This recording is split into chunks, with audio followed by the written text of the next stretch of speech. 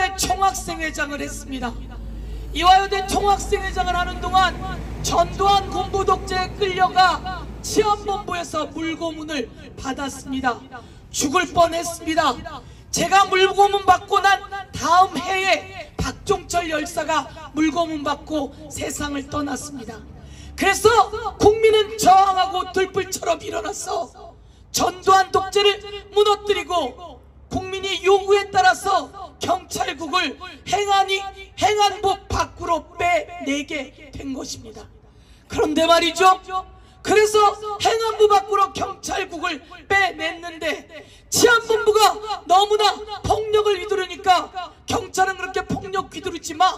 국민의 안전을 위해서 일해. 라고 행안부 밖으로 경찰국을 치안본부를 빼내게 돼서 행안부의 외청으로 있었습니다. 그런데 말이죠. 그런데 말이죠. 윤석열 정권이 들어와서 윤석열 정권이 들어와서 행안부가 경찰국을 행안부 안에 설치하게 되었답니다. 있을 수 없는 일입니다. 전두환 때도 포기했던 일들이 전두환 때 맡겼던 일들이 윤석열 정권에 시행되었습니다. 행안부 안에 경찰국을 설치하는 만행을 그 만행을 윤석열 정권과 이상민 행안부 장관이 하게 된 겁니다. 여기에 정의로운 경찰 류삼령이 문제 있어요 라고 손을 들었고 총경들 회의를 소집했습니다. 여러분 그날을 기억하십니까? 저는 당시에 국회 행정안전위원회 위원장이었습니다. 윤석열 정권의 경찰 장악 저지를 위한 위원장을 맡고 있었습니다. 그러니 이 윤석열 정권의 경찰 장악 처지 위원장 서영교가 류삼령 정의로운 검찰이 얼마나 소중했는지 저는 가슴 철저히 유삼령을 국회로 보내야 한다고 여러분에게 호소드립니다 여러분 유삼령 삼행시는 어떻게 됩니까?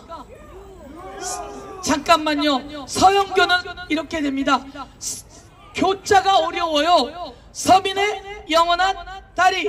서영교. 이렇게 됩니다. 오늘은 그렇게 짧은 거 말고요. 류 한번 불러주십시오. 류삼령이 확실하게 심판하겠습니다. 3년은 너무 깁니다 류삼령이 확실하게 윤석열 정권 심판하겠습니다 영원히 윤석열 정권 심판하고 국민을 모시겠습니다. 류, 류삼령이 심판하겠습니다. 3, 3년은 너무나 깁니다. 윤석열 정권 심판하겠습니다. 영, 영원히 심판하고 국민을 모시겠습니다.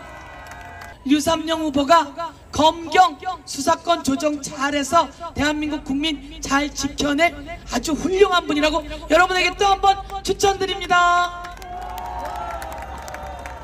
저 뒤에 어머니께서 우산 쓰고 오시면서 손 흔 들어 주시네요.